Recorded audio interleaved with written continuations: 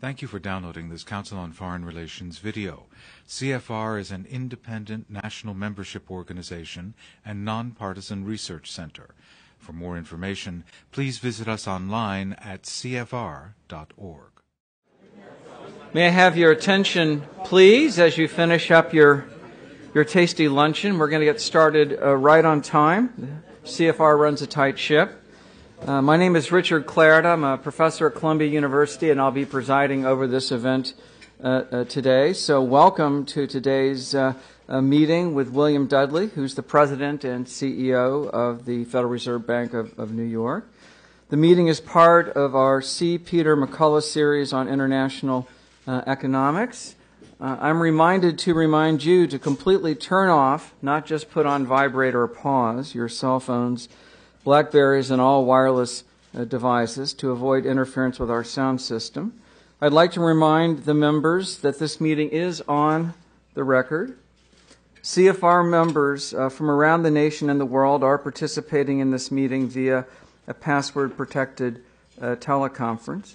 Uh, and I'm asked to remind you that our next uh, meeting will be on Thursday, May 31st, uh, with Senator Marco Rubio of, of Florida. Well, today's speaker, as I mentioned, is William Dudley, who is the president of the Federal Reserve Bank of New York. He's been in that capacity uh, since January 27, 2009. As the saying goes, may you live and preside in interesting times, and he certainly, he certainly has. And of course, for many years uh, before that, uh, Bill was a major figure at Goldman Sachs in thought leadership and international economics and then served in between as vice president of the markets group. So, uh, without further ado, I turn it over to President uh, Dudley, and then we'll have some time for questions. Thank you. Well, I expect my remarks today are going to be a little different than uh, Governor Rubio's. so it's a great pleasure to have the opportunity to uh, speak here today. I'm going to focus on how I think about monetary policy in today's uh, challenging economic environment. Uh, as part of this, I'm going to discuss how simple policy rules might be used as a guide to decision making. I do this not because policy rules are a, a, dominant role in my own thinking, but because the use of these tools is widespread, uh, with many framing their arguments this way. To start with the punchline, although I believe simple policy rules can provide useful input into the policymaking process, it would be unwise to rely on them mechanically. As always, what I have to say today reflects my own views and not necessarily those of the Federal Open Market Committee or the Federal Reserve System. Policy must strive to promote the dual mandate objectives of maximum employment and price stability given to the Federal Reserve by Congress. I believe that this should be done in a transparent and systematic manner because this will help us achieve our objectives. In particular, a well articulated framework for policy that explains our goals and how we will use our tools to promote these goals helps market participants, businesses, and households to anticipate how the Federal Reserve will respond under different circumstances and plan accordingly. This helps to anchor private sector expectations in a ways that makes it easier to, uh, to achieve our dual mandate objectives. In contrast, if we acted in an unpredictable way, policy would be ineffective at anchoring expectations, and this shortcoming would disrupt the transmission of monetary policy uh, to the real economy. Now, over the years, this logic has led the Federal Reserve to become increasingly transparent and systematic in its uh, decision making. In January, for example, the Federal Open Market Committee took another important step in this direction endorsing a public statement of longer run goals and of monetary policy strategy. This document articulated a 2% inflation objective and committed the FOMC to a balanced approach with respect to promoting the dual mandate objectives. For me, the key issue now is how to interpret these principles and to put them into practice. I interpret the strategy document itself as a relatively straightforward proposition. The Fed should seek to achieve the policy setting that generates the best path back to full employment and price stability following shocks that push us away from either of those objectives. I regard the policymaking process as a systematic effort to investigate what policy setting would deliver the best set of economic outcomes, taking into consideration all available information including risks not fully summarized in our base case for- point forecast. Now, our approach is not greatly different from those of central banks that operate inflation targeted regimes, but in our case, we explicitly seek to promote both aspects of our dual mandate. The basic question is how should, should the FOMC implement policy to best push the economy back to its dual objectives? Prescriptions from simple policy rules, such as the Taylor rules, named after Stanford economist John Taylor, have a legitimate role to play in this evaluation, as do more complex simulations, such as the optimal control rules. Now, in a Taylor rule, the nominal federal funds rate depends on the equilibrium or neutral short term real rate of interest the deviation of the level of economic activity from estimates of the level of economic activity that would be consistent with price stability, and the deviation of inflation from the central bank's inflation objective. The Taylor rule formulation has a number of characteristics that do make it a useful input into the policymaking process. First, it very explicitly focuses on the two parameters the long term inflation objective and the level of potential output consistent with that objective that map directly to the Federal Reserve's dual mandate objectives. Second, standard Taylor rules are self equilibrating. They respond to economic shocks and forecast errors in a way that pushes the economy back towards the central bank's objectives. Third, academic research shows that Taylor type rules perform quite well across a wide range of economic models. This is important because we want rules that are robust, that is, not overly sensitive to model specific assumptions about how the economy performs or how households and businesses alter their expectations and behavior in response to changes in monetary policy. Fourth, with respect to the United States, the most popular versions of the Taylor rule approximate how policy has actually evolved since the late 1980s, a period in which the Federal Reserve has been successful in keeping inflation in check. You have a packet in front of you containing some exhibits, and the first exhibit shows the Taylor rule relative to the actual federal funds rate. This suggests that policymakers that were faced with economic conditions of that period weighted deviations from their goals in a manner that was similar to the weights used in these versions of the Taylor rule shown in Figure 1.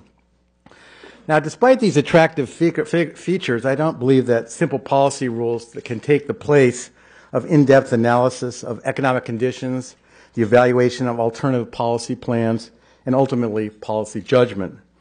While simple policy rules provide useful information to policymakers, their very vir- virtue, simplicity, means they cannot capture all information that is relevant for policymaking.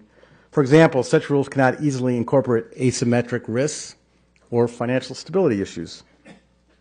Moreover, the usefulness of simple policy rules depends critically on the stability of the relationship between monetary policy and economic outcomes.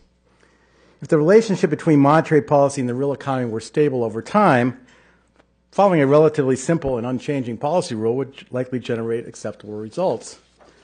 However, if the linkage between monetary policy and the real economy is more variable, as I believe it is, an approach that is more pragmatic and that updates the policy setting in a clear and systematic manner based upon what the Federal Reserve learns over time will be more effective.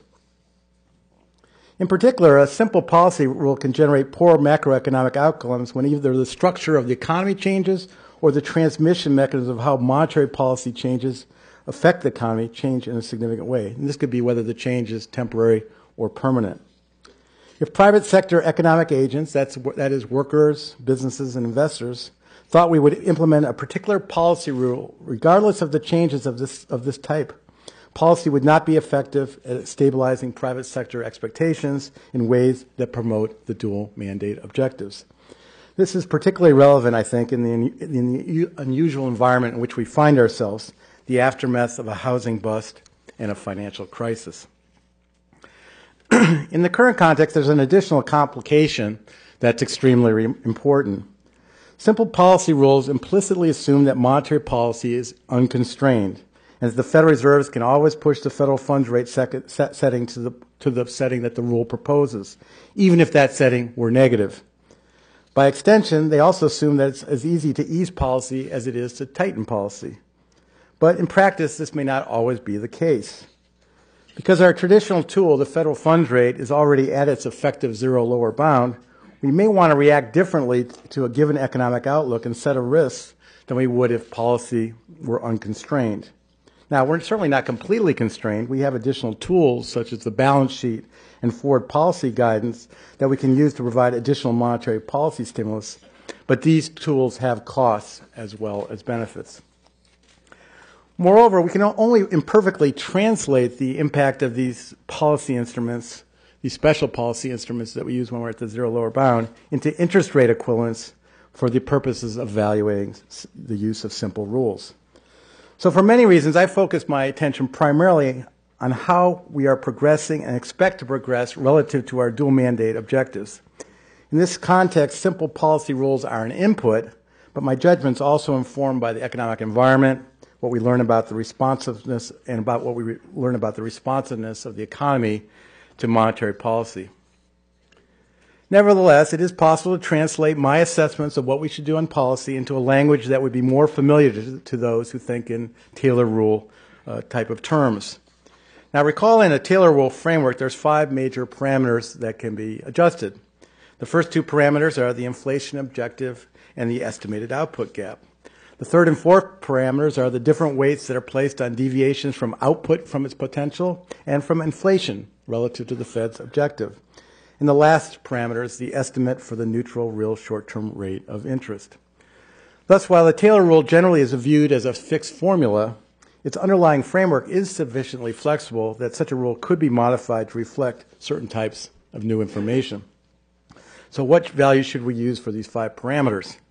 In the United States, the inflation objective is well specified a 2% annual rate for the personal consumption expenditure deflator. The FOMC has formally committed itself to that objective.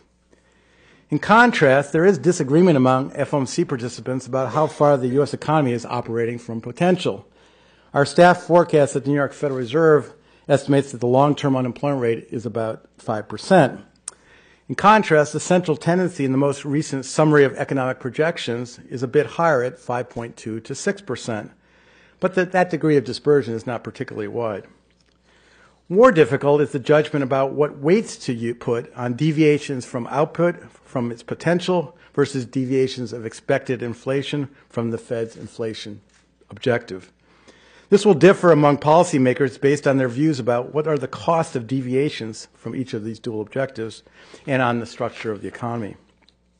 Now, this debate can be summed up by looking at two of the most well known versions of the Taylor rule the original version put forward by Mr. Taylor, which is commonly referred to as Taylor 1993, and a later version updated by other economists that Mr. Taylor himself does not endorse, but which is referred to commonly as Taylor 1999.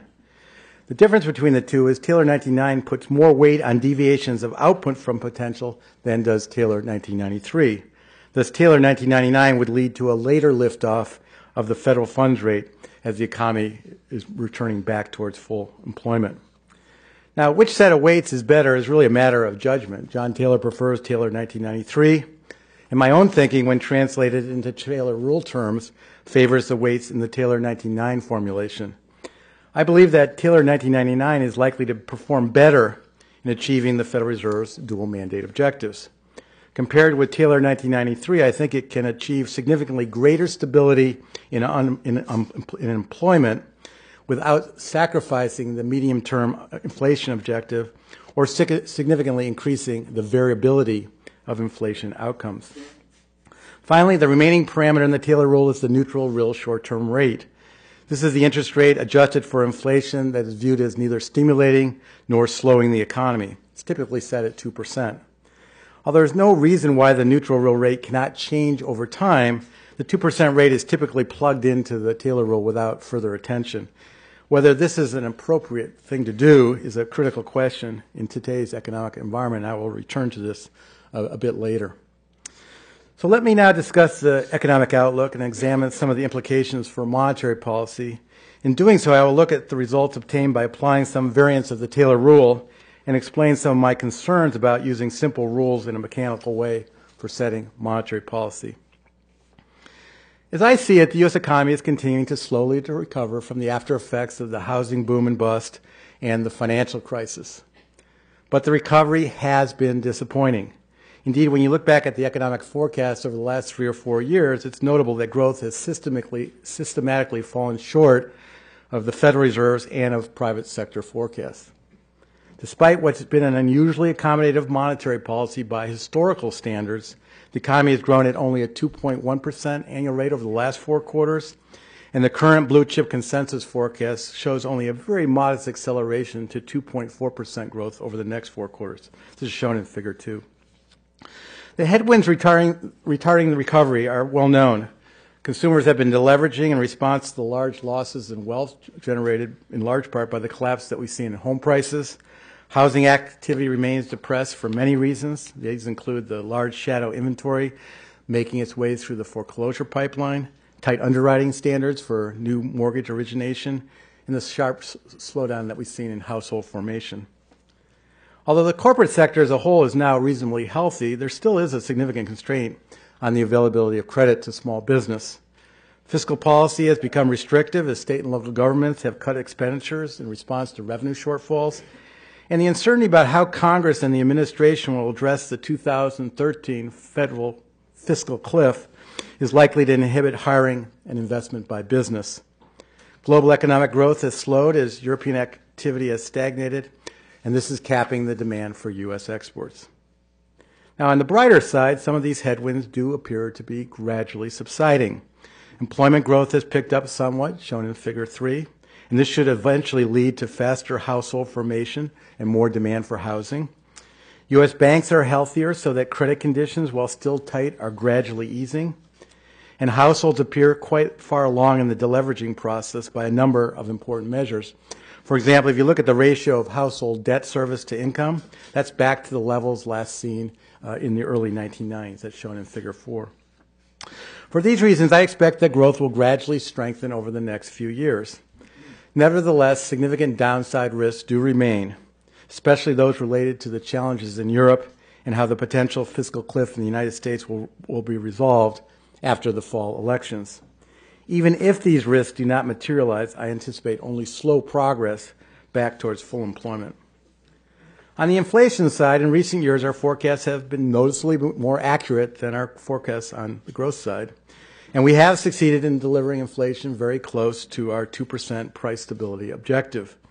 Through March, as measured by the personal consumption expenditure deflator, over the past 12 months, overall prices have risen at a 2.1% annual rate, and prices excluding food and energy have risen 2.0. So this is shown in figure 5.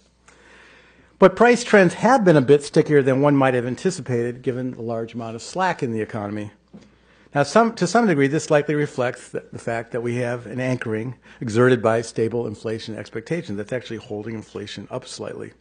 But some of the price pressures can be attributed to other, what I view as more temporary factors. First, higher oil prices and gasoline prices and their pass through into the cost of other goods and services.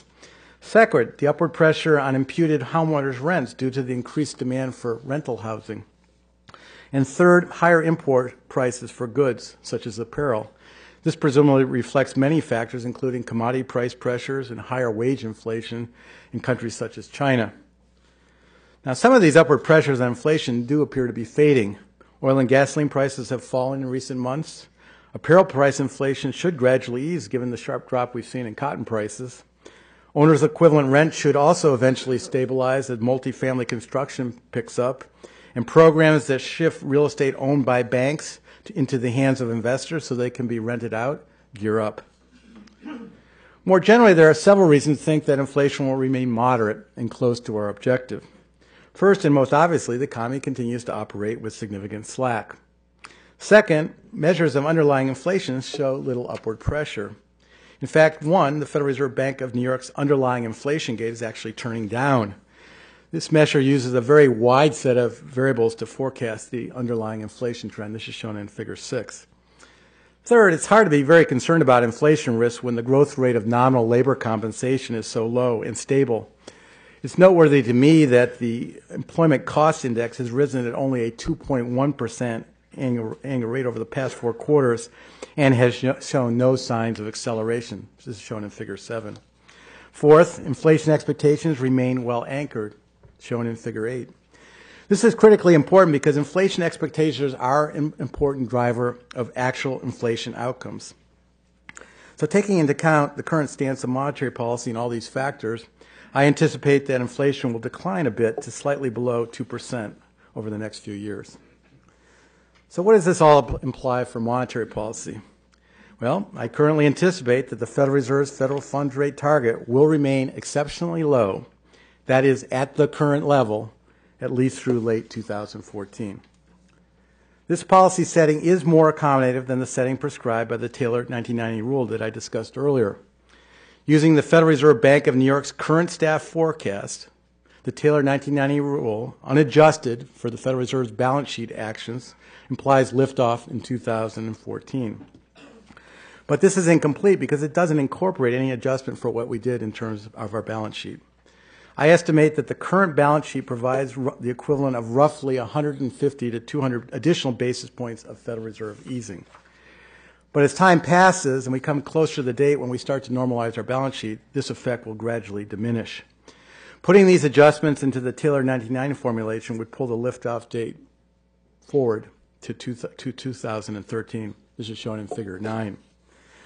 So, why do I believe then that policy that best promotes the achievable path back to our dual mandate objectives should be more accommodative than that implied by Taylor 99, adjusted or unadjusted? Taylor 99, like other simple rules, does not take into account two key considerations. First, the strong likelihood that the relationship between monetary policy and the economy has changed significantly following the financial crisis. And second, the need to apply a risk management framework to policymaking when we're operating policy at the zero lower bound. I don't believe that the standard Taylor 99 formulation is a good guide for policy right now because the neutral real rate assumption embedded in this rule of 2% just doesn't look plausible right now. This is important because the degree of stimulus depends not on the current policy setting, in other words, the federal funds rate we choose, but on the difference between the current level and the neutral rate. So, for example, a short term rate that appears highly stimulative under standard assumptions may, in fact, be much less stimulative if we use alternate estimates of the neutral real rate. If the neutral real rate has fallen, as I believe it has, then the entire trajectory of short term rates implied by Taylor 99 shifts lower, and this pushes back the liftoff date implied by Taylor 99 significantly. So, how strong is the evidence that the neutral real rate has fallen significantly, at least in the near term? Well, first, and most importantly, if the neutral real rate really were 2%, then the U.S. economy should be growing faster, as monetary policy would be extraordinarily stimulative right now. That's the case, why do we see such a lackluster economic performance? Thomas Laubach and John Williams uh, have devised a means of estimating how the equilibrium real rate varies over time based on how the economy actually performs. And the estimate, estimate generated by their model for the first quarter of 2012 isn't 2%, it's 0.3%. Second, we can identify good reasons why the neutral rate is depressed currently. The channels through which monetary policy stimulates the economy right now are weaker than normal. Monetary policy works through its effect on financial conditions that in turn influence economic activity. Thus, the linkage between the policy setting and the economy can be affected by changes in the relationship between policy and financial conditions or by relationship between financial conditions and the economy. So let's consider the linkage between the policy setting and financial conditions first. In my view, the major components of financial conditions include the value of the equity market, the level of real interest rates across the yield curve, the level of credit spreads, the availability of credit, the exchange value of the dollar, there are certainly others that one might include, but I think these capture the major elements of financial conditions. And if you look at that set of financial conditions indicators as a set, financial conditions do not, to be, do not appear currently to be unusually tight or easy in the aggregate. For the equity market, as you look at figure 10, I think the evidence is mixed. On one hand, the equity risk premium actually appears to be quite elevated relative to historical sta- standards, and price earnings ratios based on current year expected earnings are not unusually high. On the other hand, if you based on evaluation measures using trailing 10-year earnings, the U.S. stock market valuation may be a bit more stretched. For interest rates, conditions are accommodative, no doubt about it. Real rates are unusually low, shown in Figure 11. For credit spreads, pretty neutral. The level is well within normal ranges, neither as narrow as in 2005 2006, nor as wide as during 2008 and 2009. On credit availability, well, good news, it is improving but not enough to reverse very much of the sharp type, tightening in credit conditions that we saw in 2008 and 2009. This is shown in Figure 13. Credit availability remains unusually tight for certain sectors, such as housing and small business. And finally, the dollar looks pretty neutral to me. The exchange value of the dollar remains in the middle of a long run channel, shown in Figure 14, that I, that I would characterize as a very gentle decline. Similarly, there is evidence that the linkage between financial conditions and how a given setting of financial conditions affects the economy, that looks to be attenuated as well. The most obvious example of this is the housing sector. But the subdued overall rate of credit expansion for both households and businesses is also noteworthy. This has occurred despite a monetary policy that would be judged on, the, on its face as one of the most stimulative in history. Finally, market expectations suggest that the equilibrium real rate of interest will remain depressed. So, not just depressed today, but also far into the future. To me, it's particularly noteworthy that the real forward interest rate expected 5 to 10 years in the future is currently only 0.3%. And it's been moving sharply lower recently, is far lower than any time in recent memory. This is shown in figure 15. While this pattern likely reflects in part a very low uh, term premium, risk premium, it may also be driven by an assessment that the equilibrium real rate has fallen and will remain unusually low for several years. Now, this evidence implies that the current circumstances warrant the use of a significantly lower neutral real short term rate in the Taylor rule formulation. As economic conditions normalize, supported by an accommodative monetary policy, then the neutral rate presumably will gradually rise back uh, towards its long run level over time. So, for example, if we were to do this and adjust the Taylor 1999 rule for a 0% real rate, uh, we could see that this pushes uh, the time of liftoff off pretty far into the future, beyond 2014. This is shown in figure 16. Now, risk management considerations also suggest that a more stimulative monetary policy than prescribed by the Taylor 99 rule is appropriate. In particular, simple policy rules implicitly treat the welfare losses generated uh, uh, in terms of deviations from the central forecast as if those losses are symmetric. But I don't believe that potential losses are currently symmetric. In my view, the distribution of potential outcomes is currently skewed to the downside, reflecting the risk posed by developments in Europe and the impending U.S. fiscal cliff. Moreover, the costs associated with such downside outcomes, so what happens if we actually get them, are likely to be considerably higher than the cost of realizing upside surprises. For example, consider two alternative scenarios. First scenario, uh, an economy that grows very quickly, but starting with some genuine excess capacity, versus an economy operating well below potential that stagnates and pushes the U.S. economy into a liquidity trap. In the first case, we have good tools uh, to deal with this. As the economy moved closer to full employment, we could raise short term interest rates and subsequently sell assets from our portfolio. By doing this, we would tighten financial conditions, slow the economy, and ensure it remained on a path consistent with our dual mandate objectives. The losses to society from this scenario should not be very large, provided that we act in a manner that keeps medium term inflation expectations in check. But the losses to society may be very high in the second case. That is because, as Japan has discovered over the past two decades, once in a liquidity trap, it is not easy to return to full employment and price stability. Pinned at the lower bound, we don't have as good a set of policy tools that we could use to push the economy back towards our dual mandate objectives. As a result of this symmetry, upside versus downside, we should get somewhat greater weight to avoiding the little liquidity trap outcome. Now, embedded within the traditional Taylor rule formulation is an implicit return path back to full employment and price stability that the FOMC has achieved in the past when faced with shocks that pushed economic activity below its potential. In the current economic cycle, I think it's apparent that the path back to the Fed's dual mandate objectives have been much slower than the one that the FOMC found acceptable in the past. Growth has consistently been disappointing relative to both our own and consensus forecasts.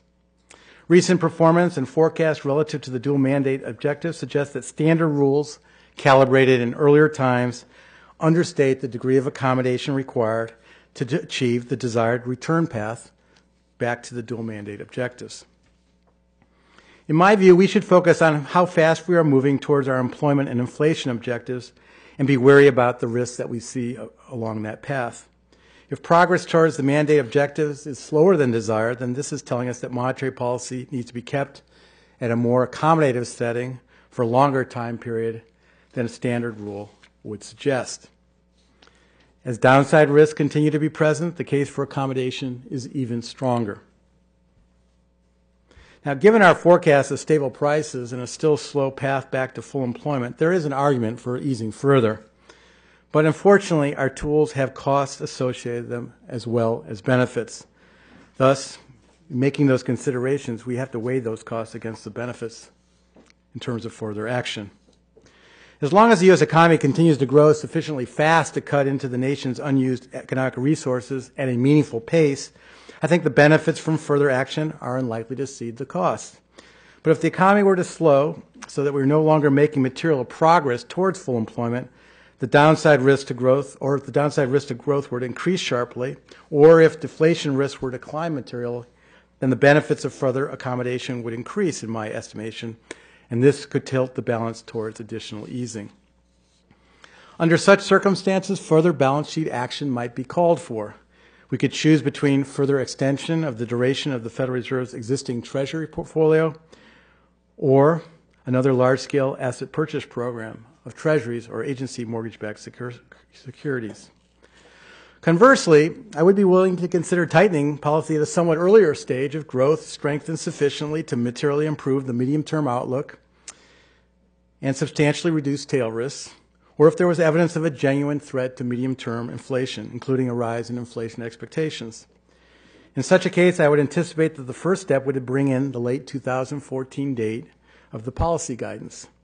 This would effectively tighten financial conditions not only by changing the expected path of future short term rates, but also by bringing forward the expected start of balance sheet normalization. So, to sum up, I see substantial advantages in behaving in as systematic fashion as possible in setting monetary policy.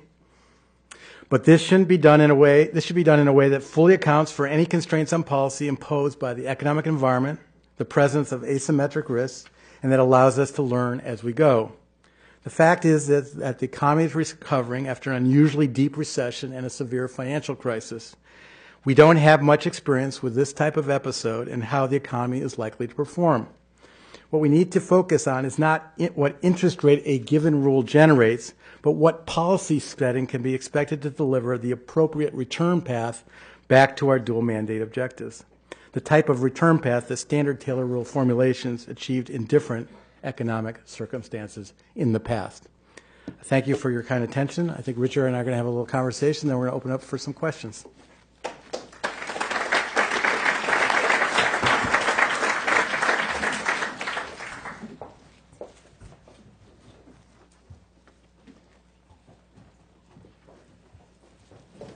Okay, well, Bill, thank you, thank you so much for that. A lot, uh, a lot of content there, and, and a lot of important things. So I'll invoke my prerogative as presider to ask the first couple of questions, and we'll leave plenty of time for the uh, for the audience. Uh, I'm going to give you a chance to do something now. Uh, in 50 years, some future economic historian will write the definitive monetary history of the 21st century, uh, and this crisis in the Fed's policy response will be a big part uh, of it. So, looking into that camera now, knowing this is on the record, address that economic historian, that future Friedman and Schwartz in the year 2050, and convey what message you'd like about the Fed's response to the crisis, the decisions you had to make, and importantly, how now you expect to be es- exiting from these unusual uh, measures. Is it Alan Meltzer's grandson or Alan Blinder's grandson? um, exactly. I think that uh, you know I think the Fed will be viewed, you know, with the benefit of hindsight, as, as acting completely appropriately in the financial crisis. Uh, in other words, we pay completely within the bounds of uh, the, the, laws and regulations, you know, promulgated by the Federal Reserve Act, and in a way completely consistent with the dual mandate objectives given us by Congress. Uh, but you know, extraordinary times uh, demand extraordinary actions, and while you know some of the things that we did were deeply unpopular in some quarters, in my mind, they were absolutely necessary to prevent the collapse of the financial system, uh, and with it, uh, extremely bad outcomes res- with respect to our dual mandate objectives. I think you know, you know, the normalization process is you know that that, that story is, has, has yet to be written. Uh, I think we'll, you know, obviously we're going to do that in a, in a, in way uh, and, and, you know, make sure that uh, we continue to behave in a way completely consistent with our dual mandate objectives. Obviously, the situation right now is made more complex uh, by the fiscal cliff looming uh, and events in Europe. Uh, but I think the good news is the U.S. economy is in better shape now.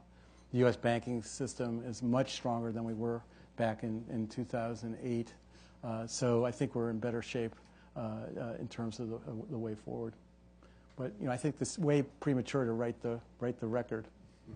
Okay. Next next question I have is um, uh, about the Fed's uh, dual mandate, and obviously both inflation and, and unemployment. as you know, but as some in the audience may not know, one of the reasons the unemployment rate's been coming down is because of the decline in in labor force participation. Indeed, if you look at a chart, it really looks like a trend and not just, just a cycle. So, how important is it to the Fed uh, that the unemployment rate come down because of job creation versus a continued decline in the labor force? And how does that factor into the dual mandate? Well, I think the, the key issue, I mean, there's been a decline in the labor participation rate, and the question is what's driving it? Uh, one thing that's driving it is probably demographics. You know, the aging of the population, the fact that uh, older people have a lower participation rate than people in their 30s and 40s means that over time, as the population ages, the labor force participation is coming down. But the decline that we've seen in labor participation looks more rapid than what you can account for just by demographics. It seems to be, from my perspective, that we're actually seeing people that are discouraged right now for looking for work who have temporarily withdrawn from the labor force. Now, if that's the case, what that means is that the, uh, the unemployment rate today at 8.1% may uh, understate the degree of excess labor resources. Because if the labor market improves, then people who are discouraged, if they see more job opportunities available, could re enter the labor force.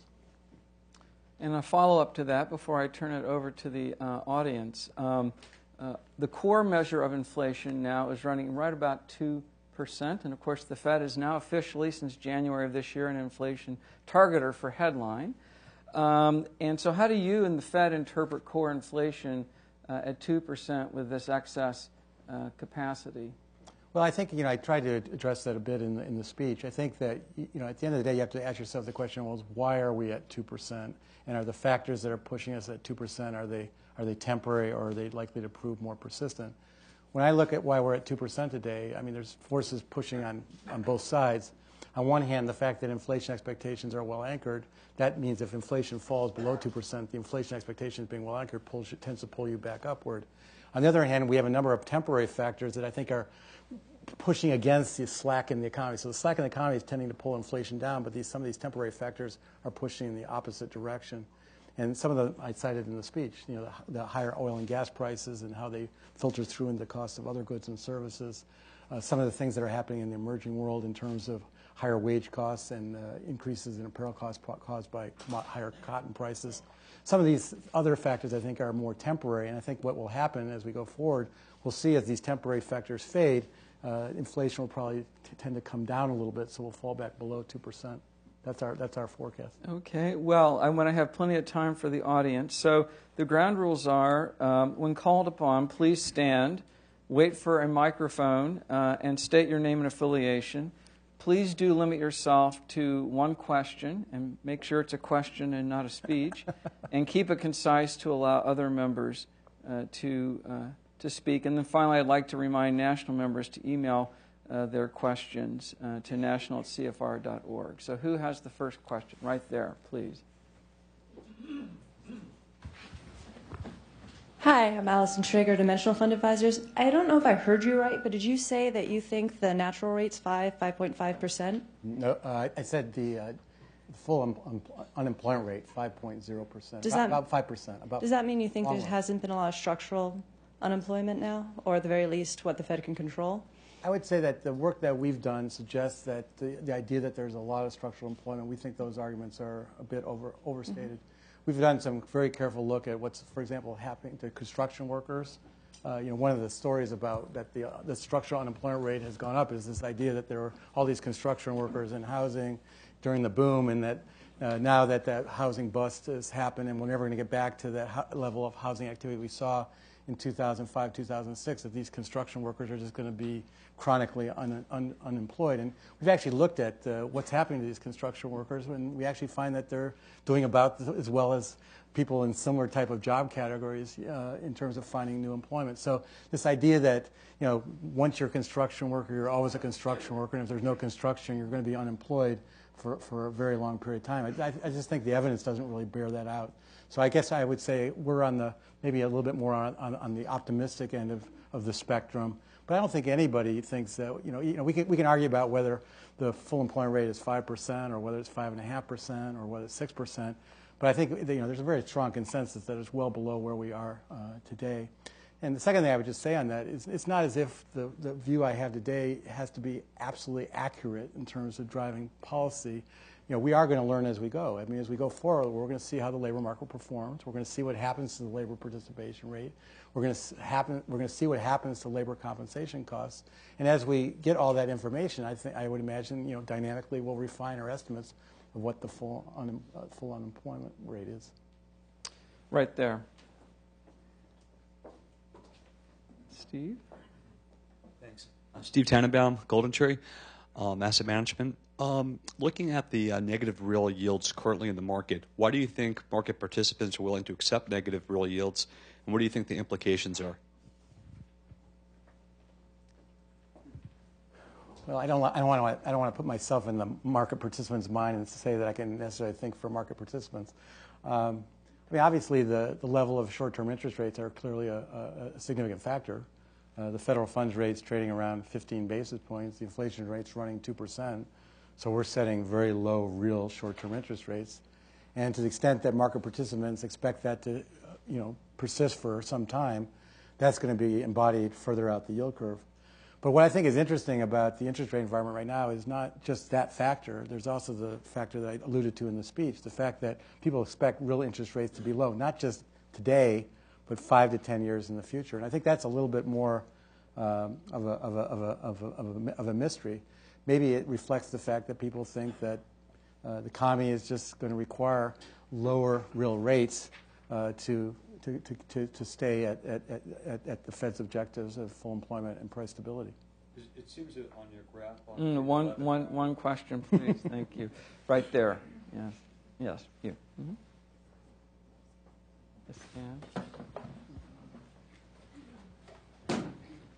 Um, uh, my name is Lucy Komisar, and uh, I'm a journalist. And this also includes uh, your capacity, uh, as it says here, chairman of the Committee on Placement, uh, on Payment and Settlement Systems of the BIS from 2009 until this year. Uh, and it has to do with the issue of systemic risk. the the dark pools through which the major prime brokers are are dealing with their big customers has gotten to the point where it's reached uh, 40% of the trades. And when they do the trading just internally, uh, crossing internally within the particular prime broker and not between one and, and another, they don't, uh, not only don't they go through the DTCC, but they don't report to anybody, the SEC or anybody. And people have told me that they think that this is ripe for manipulation and uh, they call it a systemic risk. Do you think that's the case? Have you looked into this? Well, I've certainly looked into a lot of things as the chair, the uh, late chair of the CPSS, but I, didn't, I have not focused on that particular issue in any great detail.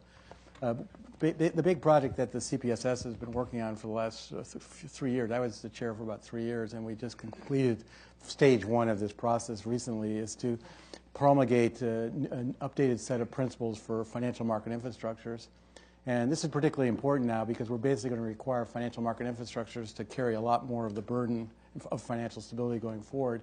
If you remember, the G30 uh, uh, ministers have agreed, and heads of state have agreed that we want to have mandatory mandatory clearing of standardized OTC derivatives trades through central counterparties at the end of 2012. So those central counterparties, they have to be robust so that they don't fail under any set of circumstances. And so what the CPS, uh, working with IOSCO, has been up to is promulgating a set of, of financial market, for principles for financial market infrastructures that ensures that C- CCPs are bulletproof. Um, this is very, very important. I think that you know the, the, the financial market infrastructure has performed very well through the crisis, but we are requiring it to do quite a bit more going forward. Um, the, the, I think the important thing about the principles that I think is noteworthy is before we had a set of guidelines, there were recommendations. Uh, you know, you, you, you, you could follow them or you could, didn't have to follow them depending on the, the, the, the, regulatory regime. The principles have been endorsed by the G30, uh, G20 uh, countries, and as a consequence, these are now going to be the minimum standards around the world for systemically important financial market infrastructure. So I think it's a very, very uh, important step. Next question, right there, Frank.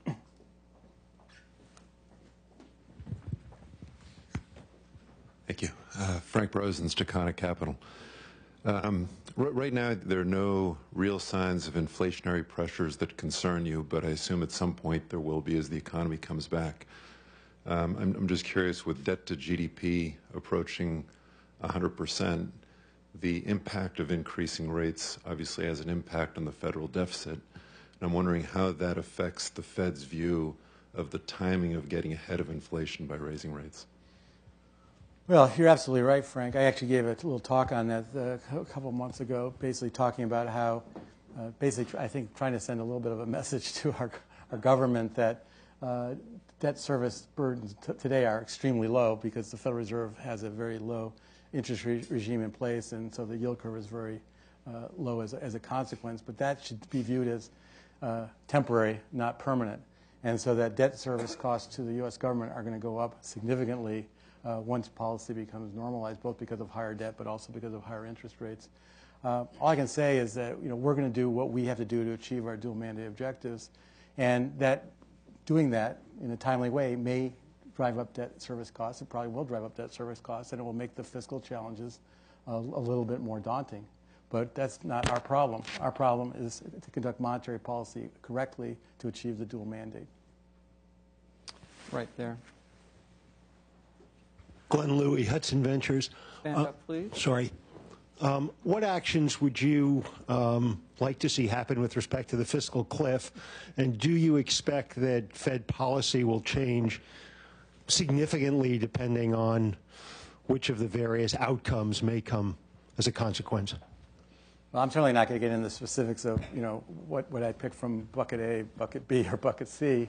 Uh, I think we've been very clear about what we'd like to see. We'd like to see you know, a, a, a policy of, fiscal restraint that starts small and builds quite, quite large over time. Uh, that's credible.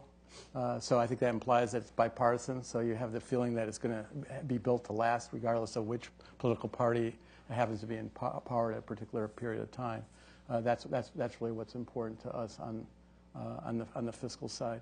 Now, you know, will the, the fiscal outcome have an implication for monetary policy? Yeah, potentially.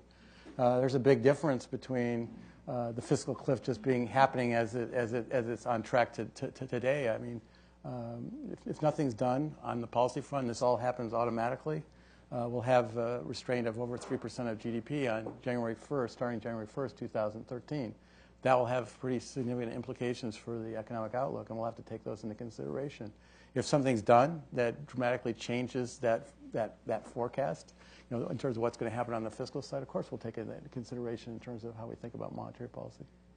I have a question now uh, from a national member, Diane Swonk in Chicago. Diane asks you, Bill, quote, along with transparency comes a sense of seeing the sausage being made what moves could or will the Fed make to clarify more than confuse as it reveals its policymaking process? End quote. Well, we have 19 members now, up from 17. so uh, there's lots of you know lots of different views on the committee, and I think you know as Chairman Bernanke has said, that's probably a good thing, not a bad thing, in the sense that if you know if, if, you, if, if it's just one person, one view, uh, you really wouldn't get the, the full uh, input of what's really going on in, in, in the national economy. Uh, but then the question is, how do you communicate that in a, in a, in a clear, clear way? Uh, you know, I, th- I, think the answer I would say is, you know, we're, we're continuing to work on it. Uh, I would not view where we are today as our final resting place in terms of communication. Uh, we continue to make gradual steps to be to clarify our intentions. I mean, for example, the chairman's press conferences putting in the interest rate pr- projections and the summary of economic projections, for example. So I think we, we, we think that uh, we, can, we can continue to refine this. Um, and I, I would just want to iterate something that the chairman has said in his press conference. At the end of the day, if you're confused, uh, pay attention to what the committee decides. Uh, that's really what, what, what, what matters. Uh, the committee decisions dominate the views of any one individual uh, uh, talking uh, in, in the press. Let's see, in the, in the back of the room, right there in the green shirt. Yes. Um, I, I liked, uh, Richard, your approach of saying, let's look, uh, let's, let's talk to the Uh, historians. identify yourself, please. Oh, I'm sorry, Rob Dietrich, Bloomberg Markets. Oh. Um, talking to the historians, you know, 50 years hence or whatever. So tell us, if you would, what happened um, after the Congress in 2013 took away the dual mandate in favor of just inflation? Well, that's a hypothetical. I mean, my view on this is it's Well, we're 50 years in the future, so. Okay. I, you know, I think at the end of the day, uh, if that were to happen, what, what we're, you know, we're obviously going to do whatever Congress instructs us to do. It's in the Congress. It's a, it's a prerogative of Congress to decide what is the appropriate mandate for the Fed.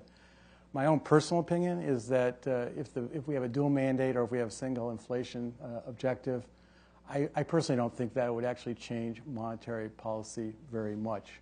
And the reason for that is I think that uh, uh, pr- price stability, broadly defined, is absolutely critical precondition for achieving the best outcomes in terms of employment. So I don't see the, the two goals in you know, major conflict to one another. Uh, so I don't think it would actually change policy very much. Uh, right there in the white shirt. Yes, I did. Roland Paul. I'm, I'm a lawyer. Um, you, unemployment is enormously high, and long-term unemployment is historically unique, uh, whereas inflation rate is pretty stable, as, as you pointed out. There are economists, I think I'm correct in mentioning that Paul Krugman and people like that say the Fed should be doing a lot more than it is doing to relieve this uh, horrendous unemployment situation, though you seem reluctant to do that in your remarks, but I'd welcome any insight you'd give us. Well, as I, as I said in my remarks, I mean, tools have benefits, but they also have, have costs. And I think what, you know, the debate you hear on monetary policy is exactly where those two lines intersect. You know, as you do more, the benefits curve, the benefits curve comes downward. As you do more, the cost curve goes upward. And so they intersect at some point. So I think there's a complete agreement that we want to go all the way out to the point where those two lines intersect, but different people have disagreements about where those lines intersect. So that's, you know, I think it's ultimately a bit of a judgment call in terms of what the costs are and the benefits are of additional policy accommodation. No, I mean, there's, you know, there's cost in, in a lot of different ways. I mean, the cost is, you know, the effectiveness of the policy. The cost is potential uh, anxiety about, uh, you know, the interest rate risk the Fed Reserve, might be potentially taking on its balance sheet. Uh, cost could be uh, anxiety that the Fed's actions are potentially, you know, sowing the seeds for a future inflation problem. I mean, some people might view that, you know, that as a risk. And if, if people think that's a risk, then that's a potential cost.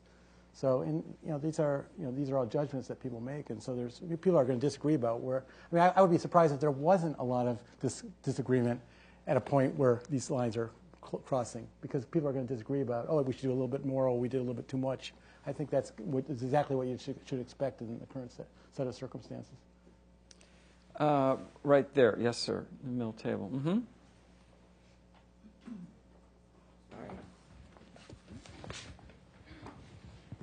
I'm Jay Golden. Uh, could you elaborate a bit on what your view is respecting the potential impact of developments in Europe on uh, the United States? No. Uh, seriously, uh, it, you know, it's, it's obviously a very difficult situation where you have 17 countries trying to work their way towards, I think, you know, uh, towards greater uh, fiscal and economic integration. Uh, if you remember, in the United States, we had trouble one country passing the TARP legislation.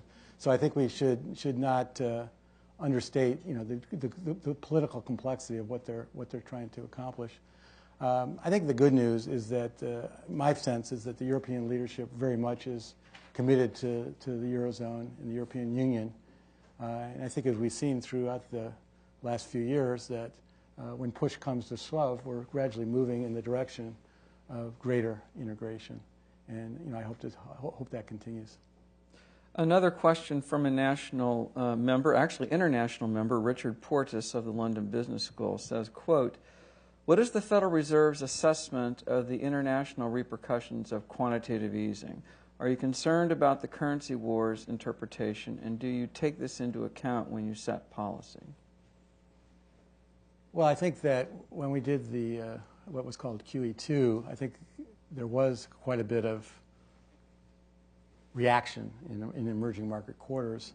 Uh, I think was partly uh, on the basis of a misunderstanding of what we were uh, trying to accomplish. Um, my own view is that uh, an early economic recovery by the United States is not just in the United States' interest, but it's probably good for the global economy. Uh, and you know, QE2 was in no way designed uh, to, to, to, start currency wars. That was really had nothing to do with, with that program. QE2 was designed to provide a more accommodative U.S. monetary policy to push the U.S. economy faster back towards, towards full employment. I think we have time for one or two more. Let's see, right, right there. Jay. Thank you. Tom Hill, Blackstone. You referenced in your remarks about the liquidity trap in Japan. What were the lessons learned as applied to the U.S.? Well, there was actually a very interesting Federal Reserve staff paper that was done uh, a number of years ago that went back and analyzed the Japanese experience. And what they found was that the Japanese really didn't behave badly given the information that they had at the time but the lesson of the paper was that they just underestimated, you know, the degree of headwinds and how, how, difficult it would be to sort of catch up on the policy front. So the conclusion of the paper was, with the benefit of hindsight, and this is with the benefit of hindsight, it wasn't really a criticism of the Japanese authorities. The lesson is that you want to be more aggressive. And I think if you sort of look at what the U.S. has done in the aftermath of the financial crisis, I think we took on board the lessons of Japan and we're more aggressive on both the monetary policy front and on the fiscal policy front. Let's see, uh, right there, blue tie. Yeah. Uh, Sean Fieler with Equinox Partners.